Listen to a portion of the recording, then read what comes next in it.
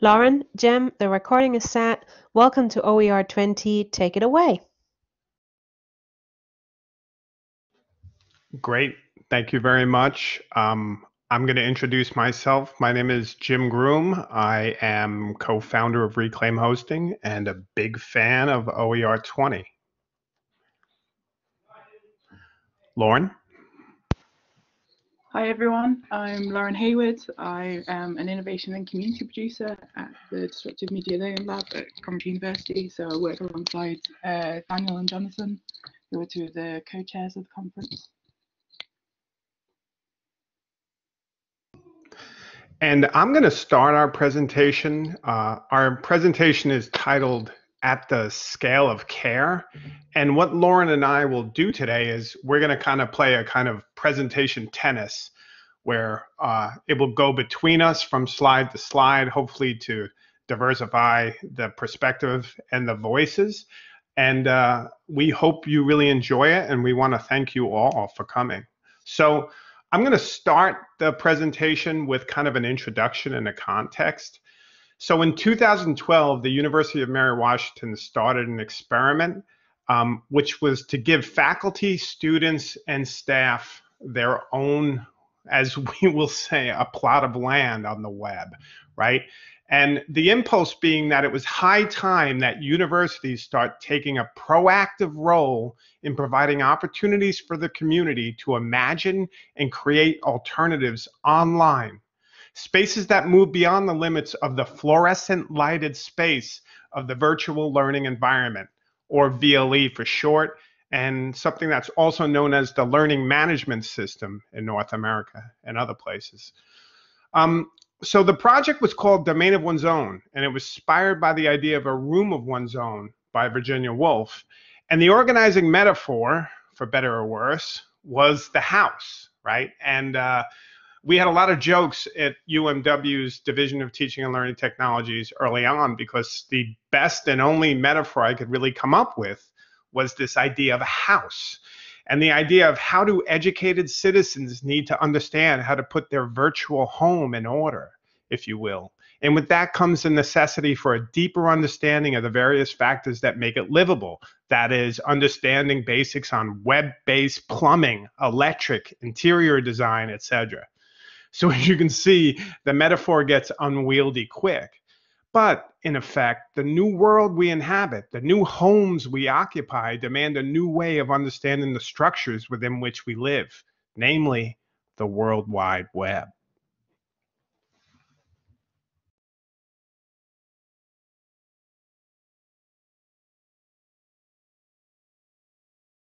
Notice why Lauren's switching that we're using a website to present this and uh, it's called the Splot, which you've already heard about. But Lauren,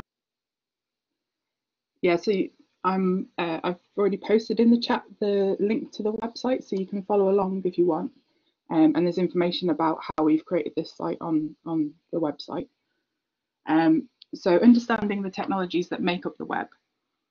At Coventry University, through use of the Coventry Domain Service, students and staff are given a, web, a, a subdomain and access to free web hosting to build web-based works. The Learn resource frames the Coventry Domains initiative as an opportunity to understand what the World, World Wide Web is, issues related to different experiences of the web, and the expanded role of the web in contemporary life. Through a set of open guides, the Learn resource aims to support students and staff to critically engage with how websites and online services are made and operate, and how they might imagine their own space and activity on the open web. The resource moves beyond a linear progression of literacies to make one-off works for assessment purposes, and instead aims to build the confidence of both staff and students using di digital technologies and making on the web. This includes onboarding walkthroughs to guides on how the web works, what it means to self-host a website, and ways to imagine and plan your own web space. By exposing the technologies that make up the web and providing materials that outline strategies for working on the web, Learners, learners can go beyond developing the literacy to complete a task for a defined purpose towards building the procedural knowledge to work and live in a hyper-connected world. And as we move to the next slide, uh, I just want to take a quick moment and acknowledge that uh, the image in the next slide is from uh, Mary Loftus, who's part of was at OER 19 last year in Galway. And I just like that her image was the one that came up when we were looking at it. Another little bellow element of open. So, what's crucial to understanding the technologies is coming up within a frame that enables and empowers educators and students alike to think like the web, which inspired technologist and the patron saint of trailing edge technologies, Jon Udell, had come up with a list in 2011 called Seven Ways to Think Like the Web. And in this, he talks about the idea of users being owners of their own data, understanding how to pass by reference, understanding how feeds and RSS works, understanding how to archive one's work. In effect, understanding how the plumbing of the web works in order to be a kind of informed, educated digital citizen. 2014, Doug Belshaw updated and kind of distilled this list into what he calls a broader manifesto for digital literacies. And the three points he comes up with have a corner of the web you control, work openly by default, and ensure your data is readable by both humans and machines. The need for thinking like the web or a broader vision of digital literacy was finally starting to gain some traction for some of our domain of one's own, became an ideal platform for doing just this kind of work. In fact, Jon Udell just the other day was talking in response to Kim Jackson, who wrote 10 years ago, we should have taught faculty how to be better at the internet, to design for privacy, security, accessibility, even how to use keyboard shortcuts, anything else but lecture capture, online quizzes, and boilerplate feedback. And to that, Udell said, among other reasons, so faculty could not only use those skills, but teach them. Next slide.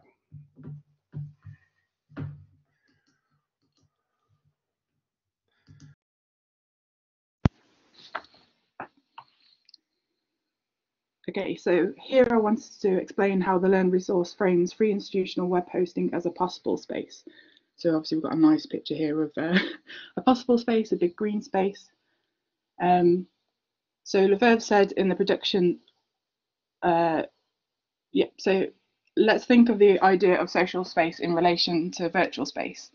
Lefebvre said in the production of space, social space is a social product the space thus produced also serves as a tool of thought and of action, that in addition to being a means of production, it is also a means of control, and hence of domination of power. In the essay, uh, The Potentials of Space Commoning, uh, commoning by Stavrides, um, sets out the idea of space commoning as a means of providing possible space. Notice Stavrides' use of the term commoning rather than evoking the notion of a commons, Within art theory and other disciplines, the term commons refers to activity rather than a specific resource.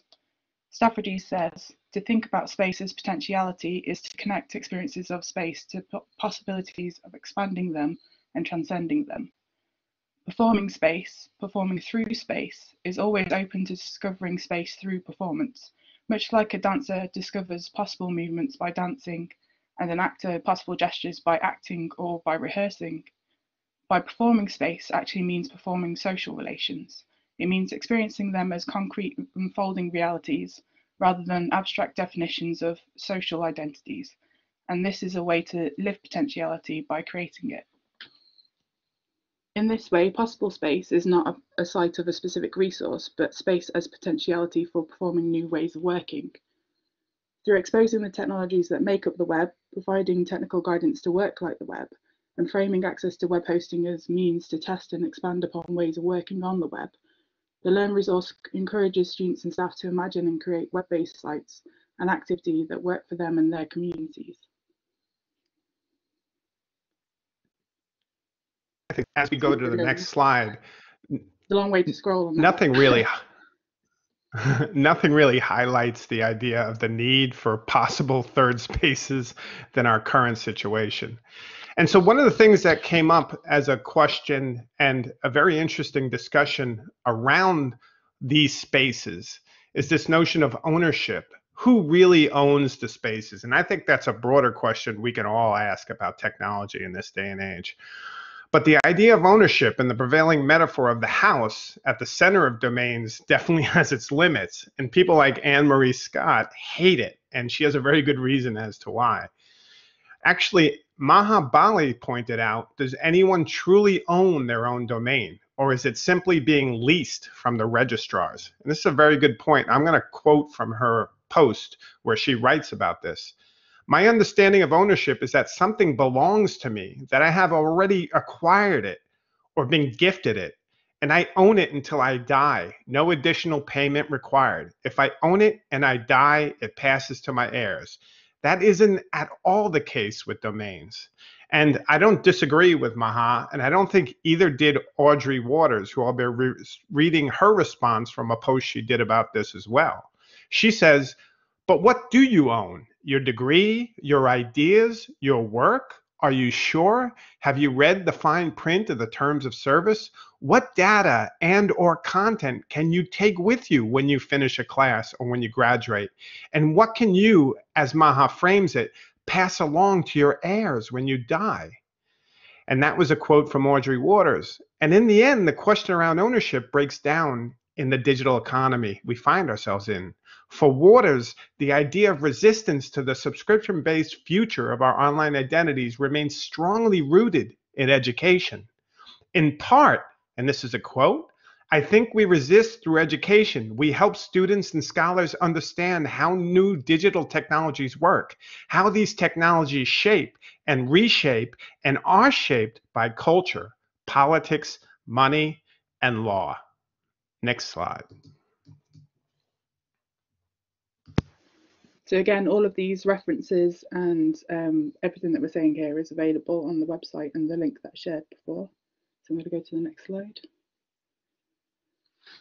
Okay, so emancip emancipatory practice and testing new forms. So the image that's shown here, uh, this is an illustration from the Morant Rebellion in 1865, where Jamaican rebels challenged the limited notion of freedom offered by capitalism, being emancipated from slavery only to work on sugar plantations as wage slaves. They fought for an idea of freedom that meant having your own land to farm and work and organise social life in whatever way an individual or community wished. I'm going to quote Stavrides again. If emancipation has to do with envisaging and testing of specific forms of social organisation, possible spaces, understood as imagined arrangements of a specific uh, possible sites, may become the means of both envisaging and testing those forms. In the context of the web and virtual space, Possible Space provides the means to break from behaviours related to the current socio-technical system and third-party services and imagine and test new forms of working online. Coventry domains and microsite learn were imagined to propose that all should have access to the web production, as well as the agency to learn on the web in such a way that does not necessitate does not necessitate working under surveillance capitalism. The initiative also aims to advance the argument that educators and students have the means to envision and test new forms of working on and collaborating online. The Learn resource includes guides on accessibility, privacy, and copyright to build understanding of how other spaces on the web potentially operate and encourage reflection and active decision making on how an individual might govern a web space and have the freedom to make use of the space for both the benefit of themselves and others.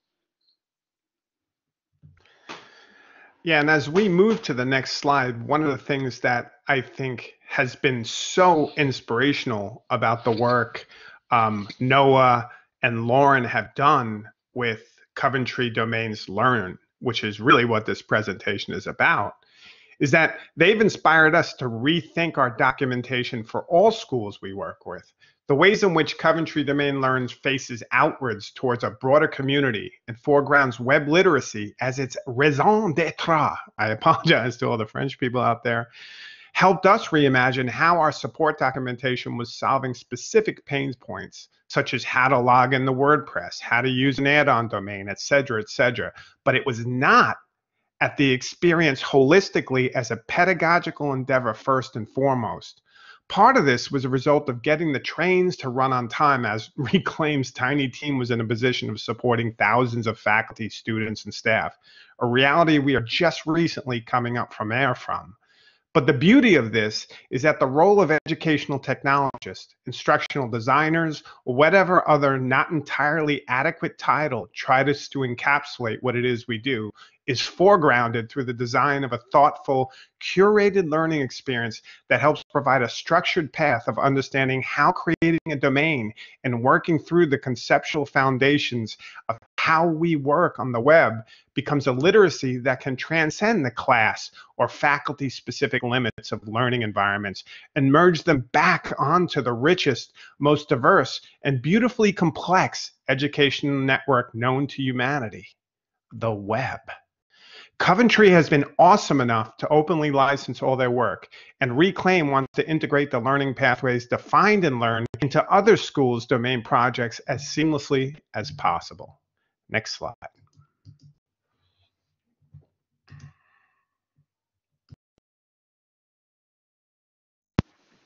Okay, so Coventry Domains Learn as a living open resource. The breadth of guides made available through the Learn resource aims to meet the needs and curiosity of a large diverse community of students and staff at Coventry University, as well as the public. Coventry Domains currently has 30 undergraduate and postgraduate courses, as well as research students, department teams, and academics making use of the service. Therefore, the guides need to talk to an audience that who may have very limited web literacy, have differing entry points to discovering the service, and who will have very different ideas about what they want to get out of their web posting. The resource provides three paths of content think, build, and grow as a way to scaffold the content into a curriculum that the audience can follow at their own pace. At the top of the landing page, there is a large text prompt that asks, What are you looking for? which sets the expectation that you as an individual can search out and decide how you want to make use of your space, rather than the resource being part of a customer service package or a linear online course. The guides explain terminology within context, provide visual aids where appropriate, and aim to provide a meta example of how to write, publish, and structure content on the web. The resource also aims to shift the burden of onboarding and web literacy development from teaching staff and learning technologies through an, a shared open resource, which can be remixed and repurposed within the VLE and elsewhere. And I think one of the many amazing things about the Coventry Learn is it highlights the attention to careful, and I say that C A R E dash full, and passionate work that groups like the Dis- Disruptive Media Learning Lab are doing to share their hard work freely, allowing other groups to not only benefit from this work, but hopefully build on it and riff and adapt it to specific context. Open curriculum like Learn often gets packaged up as a MOOC these days and processed through an online factory of time based learning that somehow ends up as a badge. But that is not the impulse behind Learn. Learn is an open, adaptable community resource that has created dialogue with ever more pressing need to provide support for educational communities to build digital literacies into every course faculty in order to empower teachers and learners to understand and responsibly inhabit the new online digs we find ourselves in a truly in a project truly at the scale of care on the web. Thank you. I like the dramatics in that last line. I think so too, um, Jim, Lauren. There's a huge round of applause just erupting now. Thank you both for uh, Splot Fast. Oh, I messed it up now. I was going to make a Splot fantastic joke, but no. Um, Daniel made me giggle by saying you presented by Splot Point. So thank you all for a wonderful presentation. Um, we do have five, six minutes for questions before we all have to go for lunch. So I'm going to leave you to um, to your audience to before we finish the session. I I think uh, we are ready for any and all questions, and uh, it is actually Splot Point. We we used Alan Levine's uh, Splot to present, and uh, there's been some discussion about us singing a, web-based song like a musical. We can do that, but Lauren and I have not practiced, so it, we may have to wait to carry OER key tonight. But do we have any real questions?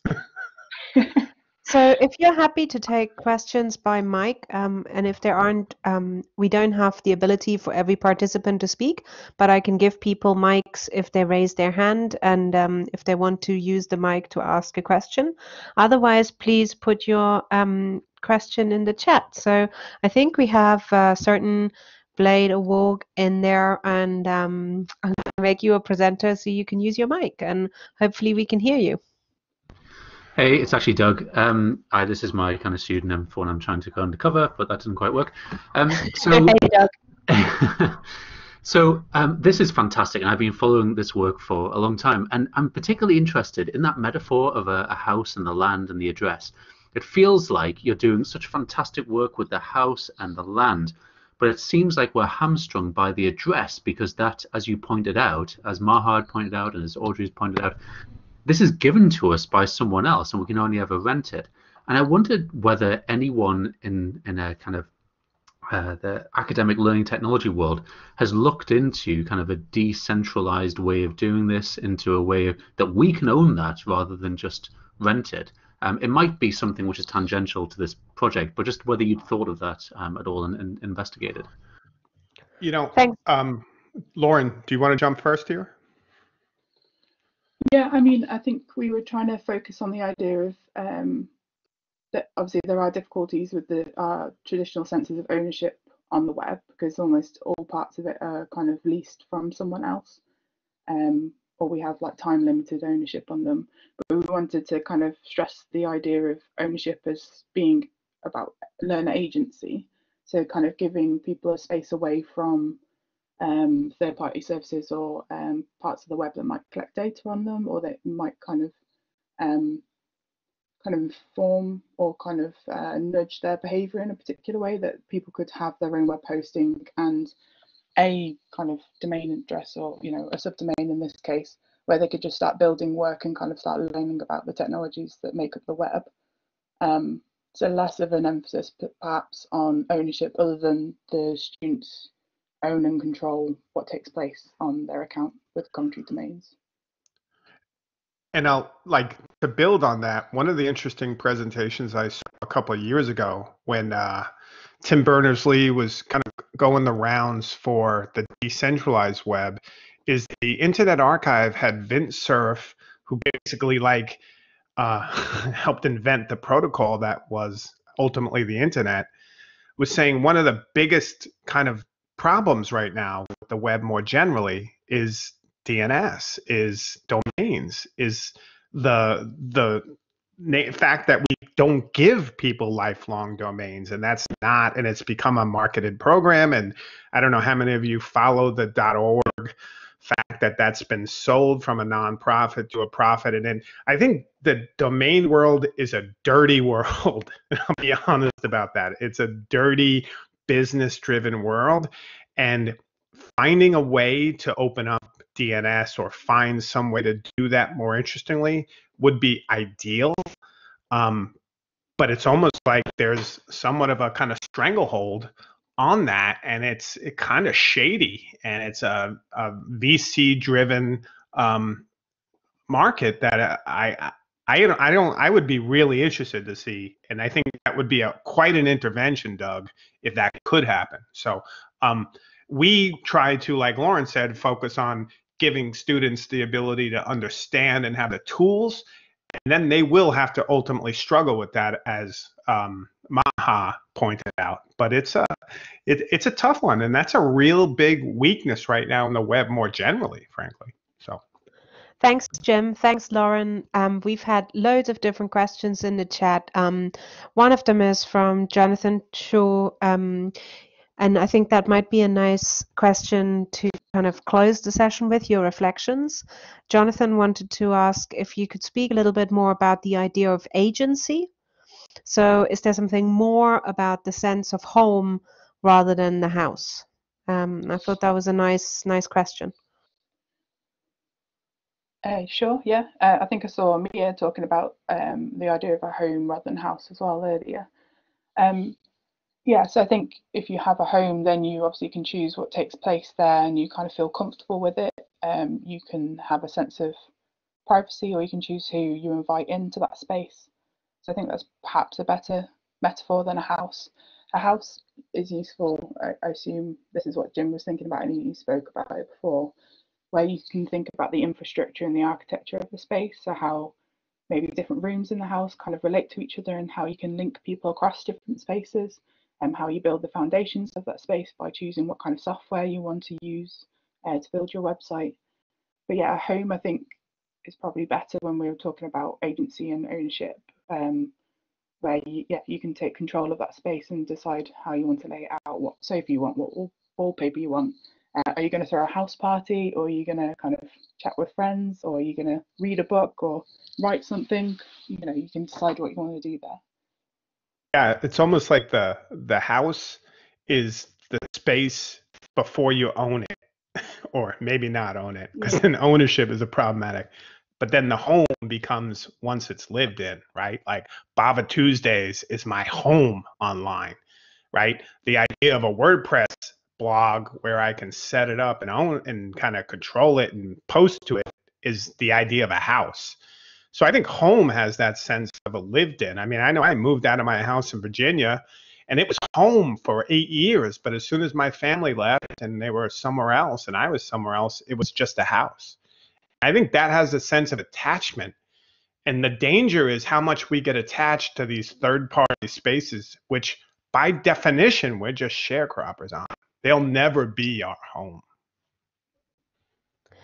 And on that note, um, I think it's time to to wrap up the formal recording of the session. So I'm going to ask you all to put your hands together one more time for Jim and Lauren, but also for Sarah, all three of whom have given us an amazing morning program here at OER 20.